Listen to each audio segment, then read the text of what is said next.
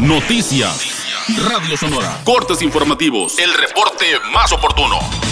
Auditorio de Radio Sonora, ¿qué tal? Muy buenos días. Es momento de la información. Los servicios y atenciones en el Centro de Rehabilitación y Educación Especial CRE del sistema DIF Sonora se suspenden durante el periodo vacacional y se reactivarán iniciando el mes de agosto. La subdirectora del CRE, Mónica Becerril Coppel, anunció que como en otros periodos vacacionales durante el verano, la demanda de terapias de rehabilitación y atenciones médicas disminuye sobre todo en pacientes foráneos. La suspensión de servicios, dijo, tiene la finalidad de que tanto la planta laboral como los niños, adultos, adultos y personas de la tercera edad que acuden al CRE disfruten de sus vacaciones en familia. Aseveró que de igual forma durante estas dos semanas el centro contará con un equipo de guardia para atender cualquier situación emergente que se presente. Por otra parte, el Instituto Sonorense de Cultura da a conocer que siguen abiertas algunas de sus convocatorias. Eh, está abierta, por ejemplo, la convocatoria para el de diseño concurso de diseño de imagen para Fotosonora 2017, donde pueden participar estudiantes o profesionales de licenciatura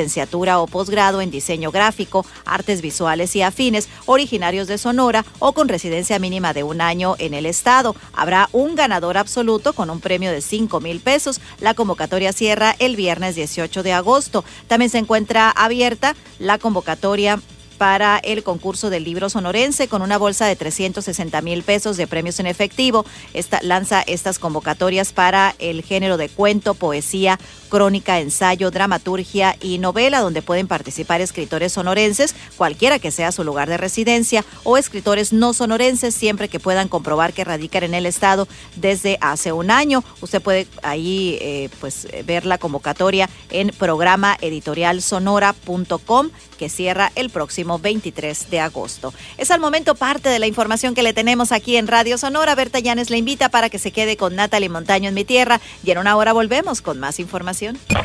Noticias.